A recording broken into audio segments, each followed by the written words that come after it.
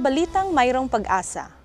Discipleship Training Seminar isinagawa sa Lagi sa Il Seventh-day Adventist Church, Lawag, Ilocos Norte. Appreciation Day para sa mga subscriber ng mga Adventistang babasahin idinao sa Iriga City ng Southern Luzon Mission. Mga guro sa mga paaralang Adventista sa South Central Luzon Conference pinangunahan ang pangangaral sa Santa Isabel, San Pablo City. Happy Family Seminar, masayang ginanap ng mga Adventista sa San Jose, Batangas. Kauna-unahang Senior Youth Leaders Commissioning idinao sa South Taguig District. Mga Adventista sa Taal, Batangas, masayang naglingkod sa pamahagi ng libreng agahan. At ang mga praise program ng mga Adventista sa San Jose Occidental Mindoro at Chaong Quezon iyahatid mula sa tanggapan ng North Philippine Union Conference. Ito ang Hope Today and PUC News.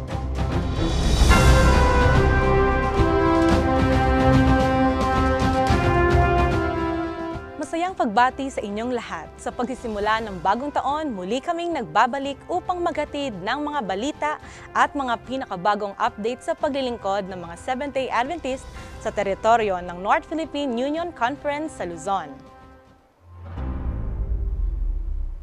Magkakasamang nakinabang ang mga miyembro at leader ng simbahan sa isinagawang Discipleship Training Seminar sa Lagi Sail Seventh-day Adventist Church, Lawag, Ilocos Norte. Ang nasabing pagsasanay ay isinagawa sa panguna ng Sabbath School Ministries Department. Ang kahalagahan at kaalamang nakapaloob sa training seminar nasa balitang may pag-asa ni James Michael Alvarez. Sa panguna ni Pastor Edward Ungkal, Direktor ng Sabbath School at Personal Ministries Department ng Northern Luzon Mission, nagsanib po sa mga leader at miyembro ng iglesia upang itabuhin ang makabulang Lilid Seminar na ito. Ang Lilid Discipleship Training ay isang hakbang tungo sa masiglang paglilingkod, pagsunod sa kalooban ni Kristo. Layunin nito na palalimin ang pangunawa sa konsepto ng discipleship at hikayatin ang bawat isa na maging masigla at aktibo sa pagpapalaganap ng Ibanghelyo. Isa sa mga pangunahing tagapagsalita ay sina Pastor Sigundino Asoy at Pastor Rolino Urbi na nagbigay ng inspirador at makabuluhang mga mensahe sa mga dumalo. Uh, ito po ay makakatulong sa ating Go Make Disciples program, uh, especially yung team ng Jer Conference na chosen for mission dahil uh, gusto po natin na matitrain ang lahat ng mga kapatid paano magawa ng sermon.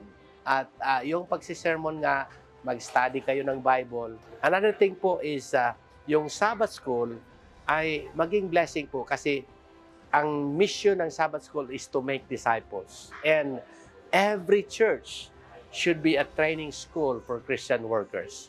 Napakalaga ang uh, training na ito sapagkat uh, may i-download natin sa mga kapatiran, lalong-lalo na mga nangunguna sa iglesia, ang programa ng ating iglesia. Galing sa General Conference, sa Division, sa Union, sa Mission, uh, papunta sa mga iglesia na kung saan ang training na ito ay ilunsad ang discipleship plan na gagawin ng bawat iglesia. Sa kanyang pagpapahayag, binigyang diin ni Pastor Asoy na ang kanyang talakay ay naglalayong magbigay ng mahalagang edukasyon para sa mga kapatiran dumalo ng seminar. Noon, natuto akong mag-sermon in my own way. Yun pala, more on topical and uh, textual. Pero ngayon, natutunan ko na dapat ay uh, i-practice ko at i-develop ko ang expository para makapagbigay ako ng mensahe na Christ-centered. At ang isa pa pong natunan ko ay ang pagiging disipulo ni Kristo. Sa pagkatapos ng Lilid Seminar na ito, umaasa tayo na mas mapanagot, masigla ang ating mga kapatid sa pagpapad ng kanilang misyon na Go and Make Disciples.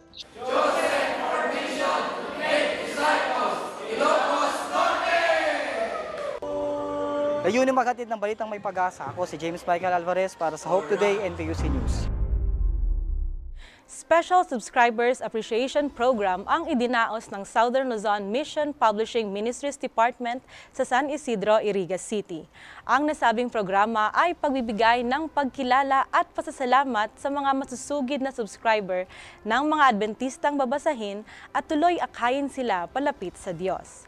Ang nagtatagumpay na gawain ng literature evangelism tunghayan sa balitang may pag-asa ni Cookie John Rafalio. Ang publishing ministry ay kinikilalang isa sa pinakamahalagang parte ng gawain. Ang mga aklat na dinadala sa mga tahanan ay nagsisilbing instrumento upang matugunan ang pangangailangang pisikal, mental, social, at spiritual ng bawat pamilya. Kaya naman, isang espesyal na programa ang isinagawa para sa mga masugid na sumusuporta sa mga babasahing ito. Isa na dito si Nanay Elsa, isang DSWD worker at may-ari ng radio station nang makilala niya ang isang literature evangelist. Nagdesisyon ako ngayon, sabi ko magpapabinyag na ako. Ito na talaga yung hinahanap kong kasagutan para kami ma-encourage, sumama sa inyo para ibahagi din namin sa iba para hindi sila mapariwara ang paniniwala, paniniwala nila. At dito nagsimula ang kanyang buhay kasama ang Diyos sa pamamagitan ng Health and Home. Sila po ay customer ko. Mayroon po silang sariling radio station. Kami po ay nagpo-program doon at sa pamimigitan noon, nagkatulong po yung kanilang binabasa sa librong aking dinadala at gayon din yung mga programa natin na naririnig po nila kaya lalo pong tumatag ang kanilang pananampalataya at hindi po nagtagal. Sila po ay nag-decide ng magpasakop sa Panginoon sa pamamagitan po ng bautism. Bunga ng pagkakaisa sa gawain at sa tulong ng banal na spirito anim na individual ang tumanggap sa Panginoong Hesus bilang kanilang personal na takapagligtas. Two years na po ginagawa ng Southern Luzon Mission Publishing Ministries Department ang 1LE, One Baptism na kung saan intentional na inaanyayahan natin ang ating mga subscribers. Atin po silang inaakay. Sa nakaraang uh, harvest natin, mga minamahal ko pong mga kapatid, ay nagkaroon tayo ng anim. Ang aking mensahe po sa kanila, manatili kayo sa pananampalataya. Sa pagbabahagi ng mga Adventist literature sa mga elite at gayon din po sa mga subscribers na ang dahilan ay ang pagbebenta at pamimigay ng babasahin ay para maging entering words na may pangaral ang salita ng Diyos sa napapanahong mensahe ng uh, katotohanan para sa panahong ito. Dahil po dito, uh, itong mga subscriber natin every end of the year ay gagawin natin silang candidate for baptism para i-accept nila si Jesus Christ as personal Savior then at the same time madama nila ang pagpapatawad, pagmamahal at pagliligtas ng Panginoon. Tunay nga na ang Panginoon ay gumagawa sa aklat na dinadala sa bawat tahanan at dahil dito ang kaligtasan na inaasam ay siyang nakamtan. Mula dito sa Southern Luzon Mission at may layuning makapagatid ng mga balitang may dalang pag-asa, Cookie John Rafalio nag-uulat para sa Hope Today and PUC News. Pinangunahan ng mga guro mula sa mga paaralang Adventista sa teritoryo ng South Central Luzon Conference ang isang linggong pangaral sa Santa Isabel, San Pablo, Laguna. Ang nasabing programa ay inisyatiba ng Education Department sa layuning makibahagi sa pagdadala ng ebanghelyo sa mga bata at magulang na kanilang pinaglilingkuran. Ang balitang may pag-asa iyahatid ni Yvonne Rigor. Bilang tugon sa temang I Will Go, inilunsad ng Departamento ng Edukasyon ang moral at pangkalusugang pangangaral dito sa Santa Isabel, San Pablo City. Ang nasabing pangangaral ay isinagawa ng mga guro mula sa iba't ibang paaralan ng South Central Luzon Conference.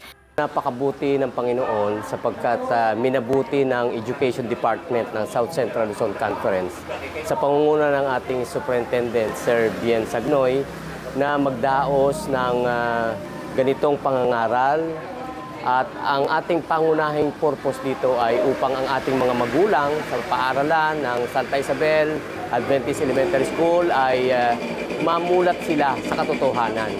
Nagsisimula ito sa pamamagitan ng pagpapaawit sa mga bata at pagkukwento.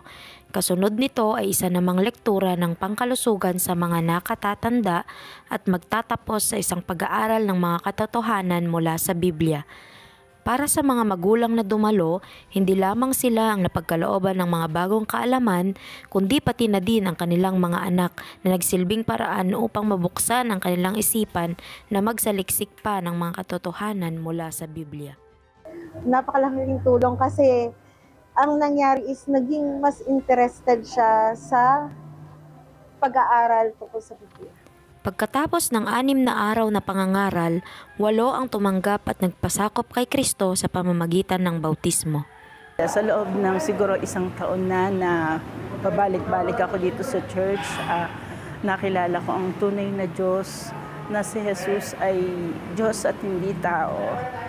Ganon din na nakilala ko rin at nalaman ko na ah, ang kapitong araw ay ang Sabado na dapat ay ipagpahinga at ah, ilan ang, ang oras at araw na yun para sa Kanya. Dahil sa pagkakaisa ng mga guro at kapatid sa iglesia, matagumpay ang pangaral na ito. Nagbigay nawa ito ng inspirasyon sa bawat isa na magpatuloy sa paglilingkod sa Panginoon. Mula rito sa Santa Isabel, San Pablo, Laguna, ako si Yvonne Rigor, naghahatid ng balitang may pag-asa para sa Hope Today and PUC News. Happy Family Seminar ang tema ng isang linggong pagpupulong na pinangunahan ng mga Adventista sa Barangay Don Luis, San Jose, Batangas. Layunin ng programang patibayin ang relasyon at ilapit sa Diyos ang mga pamilya sa pagbabahagi ng mga kaalaman at katotohanang nakapaloob sa Biblia. Si Johan Ramos ang maghahatid ng balitang may pag-asa. Lahat ay naghahangad para sa isang masaya at maligayang pamilya. Kaya nagkakaroon ng isang Happy Family Seminar dito sa San Jose Seventh-day Adventist Church, Barangay Don Luis, San Jose, Batangas. Upang patuloy na ipalaganap ang salita ng Diyos sa naturang bayan, ay muling nagkaroon ng pag-aaral patungkol sa pagpapatatag ng pamilya sa pangunguna ni na Pastor Mark Anthony Robles at ng District Pastor na si Pastor Rodel Honorica. Amin pong ginaganap ang aming krusada na meron pong tema na Happy Family Seminar na ang layunin po nito ay mas mapalawig ang pag-iibigan ng pamilya kasama ang ating pong Panginoong Diyos. Ang ginawang gabi-gabing pag-aaral ay nagdulot ng kaalaman sa mga nakikinig mula sa iba't ibang barangay ng San Jose na hindi lamang sila nasiyahan kundi natutunan din nila ang kahalagahan ng pagiging malusog upang makapaglingkod sa kapwa at sa Diyos. Maging ang mga bata ay natuto ng mga awiting makalangit, kwento tungkol sa Biblia at mga memory verses. Tunay pinagpala ang lahat. Maging ang mga miyembro ng simbahan na dumalo sa nasabing pagpupulong. po ay nagpapasalamat dito sa Don Luis San Jose Church na at kami po ay sobrang nalulugod na nagkaroon po ng isang ah, family seminar na kagaya po nito nagkakaroon po ng kaalaman tungkol tungkol sa ah, pag ah, isang masaya at masiglang pamilya, Ah, kaalaman kung paano po mas lalong mapalago at mapatibay natin ang ating ah, pananampalataya sa ating Panginoon. Isang kagalakan sa atin na tayo ay makapaglingkod sa pamagitan ng pagbabahagi ng salita ng Diyos. Ito ay isang malaking hamon sa ating mga lokal na iglesia na patuloy nating gawin at ipagamit natin ang ating sarili, abutin ang maraming tao, mapaabutan ng mabuting balita. Bilang bahagi ng gawaing ito, nagkaroon ng free dental, fasting blood sugar, uric acid, cholesterol, blood pressure at weight monitoring na ginanap sa munting simbahan sa pangunguna ng Lipa Adventist Medical Practitioner or LAMP. Naging masaya at matagumpay ang gawaing ito dahil marami ang napaglingkuran. Purihin ang Panginoon sa dedikasyon ng bawat isang nakisangkot sa banal na gawaing ito na maipahatid ang dakilang pag-ibig ng Diyos sa lahat ng mga tao. Tatlong kabataan ang tumugon at nabinyagan sa pagtatapos ng pangangaral na ito. Patuloy nating idalangin na ang mga binhi ng katotohanan na naitanim sa puso ng mga nakarinig ay tumubo at lumago upang marami pang mga tao ang makasumpong ng kaligtasan at handang tanggapin si Kristo bilang personal na tagapagligtas. Hinihikayat at hinahamon tayo na maging mas malapit sa ating Diyos araw-araw, kasama ang ating pamilya. Mula dito sa Don Luis, San Jose, Batangas, Ako si John John Chris F. Ramos, naghahatid ng balita may dalang pag-asa para sa Hope Today and PUC News. Idinao sa Signal Rooftop Seventh-day Adventist Church ang kauna-unahang Senior Youth Leaders Commissioning ng South Taguig District.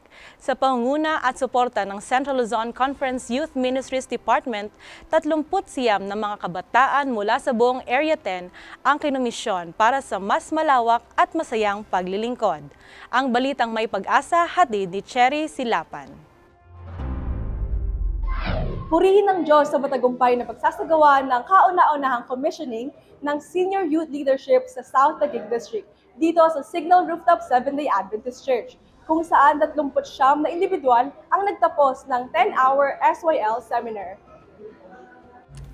Sa pangunguna ng CLC Youth Director na si Pastor Marlon Ramirez bilang Commissioning Officer at sa pagsasaayos ng programa ng isa sa mga naunang senior youth leader sa distrito na si Ma'am Chill Castigador, na isagawa ang kauna-unahang district-wide commissioning ng SYL dito sa tanggapan ng Central Luzon. Matatandaan na kamakailan lamang na ibalik muli ang kurikulum ng SYL dito sa Central Luzon matapos na masimulan nito bago pa magkaroon ng pandemya. Naglalayo ng programang ito na mahasa ang mga kabataang namumuno sa iglesia sa iba't ibang mga prinsipyo ng Biblia at maturuan sila sa iba't ibang mga kaparaanan kung paano haharapin ang mga hamon o issue na dala ng modernong panahon. 26 mula sa distrito ng South Taguig ang sumailalim sa commissioning, kasama ang 13 mula sa iba pang mga distrito na bumubuo ng Area 10. Karamihan sa mga kabataang kasali sa nasabing training ay aktibo ring nakikilahok sa Ministeryo ng Pathfindering bilang Master Guide o Master Guide Trainee. Purihin ang Diyos sa patuloy na paglago ng kanyang gawain. Layuning magkatid ng balitang mayroong pag-asa. Ako po si Cherry Silaban, nag-uulat para sa Hope Today NPUC News. Papuri at pasasalamat sa Diyos ang hatid ng mga Adventista sa San Jose Occidental, Mindoro sa pagdaraos ng kanilang Local Church Praise Program. Doon, magkakasama nilang sinariwa ang kagandahang loob ng Panginoon na kanilang naranasan nung nagdaang taon. Ang kanilang naging Thanksgiving at iba pang programa nasa balitang may pag-asa ni Myra Jim Taniedo. Sa kalooban ng Panginoon, bago magtapos ang taong 2023, isang local praise program ang ginanap dito sa San Jose Seventh-day Adventist Church. Ngayong araw ng Sabat, napuno naman ng inspirasyon ang bawat isa sa iglesia ng San Jose sa pamamagitan ng mga testimony na ibinahagi ng ilang kapatiran kung papaano naging mabuti at dakila ang Panginoon sa kanilang buhay para sa taong ito. One of the best gift na natanggap ko ngayon 2023 is nung ipinagkaloob ng Diyos sa akin yung matagal ko nung ipinagdarasal sa nature ng pagtuturo, ang maging permanent na teacher sa DepEd. Uh, totoo na, totoo ding pinapitan sa panalangin ng Isaiah 60 verse 22 na when the time is right, I, the Lord, will make it happen. Kaya ang puso ko talaga ngayon ay sobrang masaya dahil finally, the right time ay pinagkaloob na ng Diyos sa akin. Naging tagapagsalita sa praise program si Pastor Roosevelt Fortu na dati na rin nilang naging district pastor noon, kung saan kanyang binigyang hamon ang bawat isa na magpatuloy sa pakikisangkot sa gawain, maging masigasig at lalong higit, maging matatag sa pananampalataya. Dahil ang Diyos ay mabuti at handang makinig sa bawat isa. Kung ating gagawin yung laging magpasalamat sa Kanya, ating dadalhin yung mga uh, ipinagkalob sa atin ng Diyos kung anong mayroon tayo. Yung mga talento natin, ating uh, bilang pasasalamat sa ating mahal na Diyos, bilang papuri, ating ipaggamit ito sa gawain ng ating mahal na Panginoong Diyos. At kung, gag, kung magkagayon, ang gawain ng Panginoong Diyos ay patuloy na susulong magkakaroon ng tagumpay at walang anumang mga bagay na magiging suliranin sa ating pagpapasulong ng kanyang gawain. Maging sa mga material na bagay na ating tinatanggap, ating ipasasalamat sa Panginoong Diyos, ipapagamit natin lahat sa Panginoon. Maging doon sa ating mga pinansyal na, pa, na pangangailangan, pinansyal na tinatanggap sa Panginoong Diyos, magbahagi tayo sa gawain ng Panginoong Diyos bilang ating pasasalamat. Bilang kabahagi ng aktibidad na ito, Isang culmination program naman ang isinagawa kinahapunan para sa ginanap na isang linggong Voice of Youth sa Bayutbot, San Jose, Occidental, Mindoro. Kung saan layo nito ang, na ang iba't ibang mga kabataan ng iglesia ay magamit sa lumalagong gawain ng Panginoon. Layunin magatid ng balitang mayroong pag-asa, Mayra Jim Taniedo nag-uulat para sa Hope Today and PUC News. Masayang nagtipon sa isang praise program ang mga miyembro ng lokal na simbahang Adventista sa Chaong, Quezon. Kasama ang Sampaga Worship Group, kanilang ipinagpasalamat ang kasaganahang tinanggap nung nagdaang taon at ibinahagi ang mga ito sa kanilang mga cared friends. Si Bill Anthony de los Santos para sa Balitang May Pag-asa.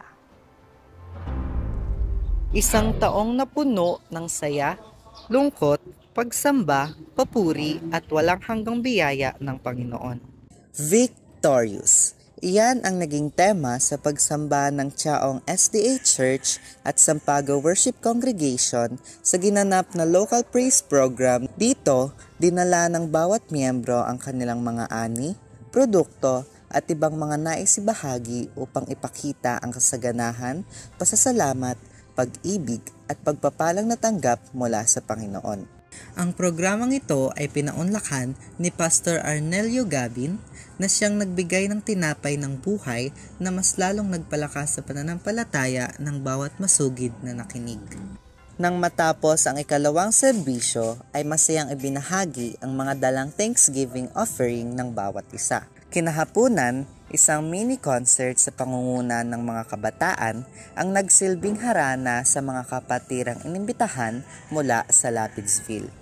Binigyan ang bawat representative ng kanya-kanyang pamilya ng munting regalong maaari nilang pagsalu-saluhan. Nagkaroon din ng gift giving sa Bula, Chaong, Quezon na pinangunahan ng mga kapatiran. Sa kabuuan, may 83 na pamilya ang nabigyan ng regalo mula sa Panginoon. Natapos ang araw ng Sabadong ito na puno ng ngiti ang labi ng bawat isa dahil sa mga mensahe ng awit na narinig. Gayon na rin ang saya sa pumigay ng biyaya ng Panginoon. Nang sumunod na araw ay pinagpatuloy ang gift giving sa Barangay Poblacion at Barangay Sampaga, San Antonio, Quezon. Dito ay may dalawampung pamilya ang sharing na bahagian ng biyaya ng Panginoon. Ang pagtatapos ng taong ito ay isa lamang patunay na tayo ay mayroong makapangyarihang Diyos na siyang gumagabay at pumapatnubay sa bawat isa. Tunay na ang pag-ibig lamang ng Diyos ang kailanmay hindi magwawakas. Naghahatid ng balitang may pag-asa, Bill Anthony de los Santos para sa Hope Today and PUC News. Free breakfast o libreng agahan para sa mga tao sa palibot na komunidad ang hatid ng mga Adventista sa Taal, Batangas.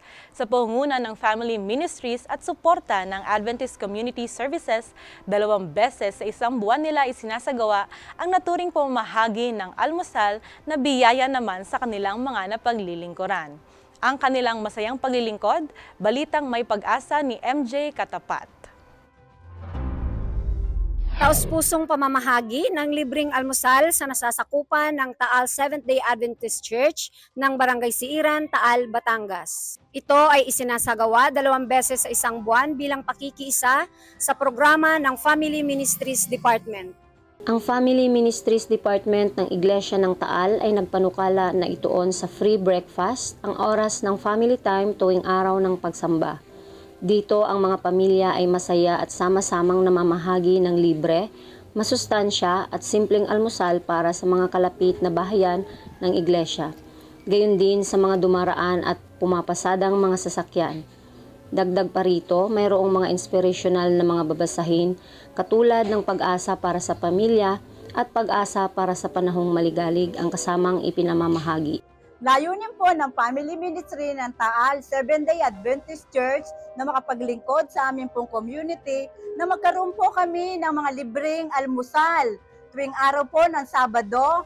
At ito po ay marami ang natutuwa at nagpapasalamat na sa munting mga almusal na iyon ay marami po ang mga naibabalik na mga dati pang mga panahon na sila po ay nakaka-attend ng mga Bible study. Naalala po nila ang Taal Seven Day Adventist na ang layunin po lagi ay magbigay ng kasiyahan, katuwaan, maglingkod sa amin pong ah, barangay ng Siiran, Taal Adventist Church. Napakasaya sapagkat ah, tunay na naranasan ko ang kaligayahan na nagmumula sa ating Panginoon na sa kunting bagay na iyon ay nakapagsilbi tayo sa ating kapwa. At yun naman talaga ang nais ng Panginoon sa atin na tayo makaranas ng kaligayahan at kaligayahan sa ating paggawa sa kanyang gawain. Naka, nakaramdaman ko ay kapag, nakapag almusal, nabusog.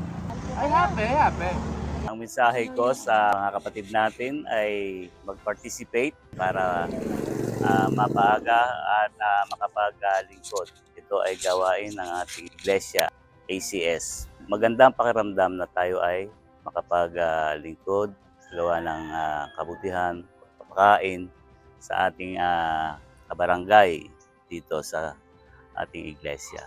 Kalakip ng mga panalangin, ang layunin ng programang ito na pagbuklodin ang bawat miyembro ng pamilya at sama-samang makipagkaibigan, manghikayat at maging pagpapala sa mga taong mababahagi na ng libreng almusal at mga babasahin. Bakas sa mga ngiti ng mga namahagi ang kasiyahan na makapaglingkod sa kanilang kapwa.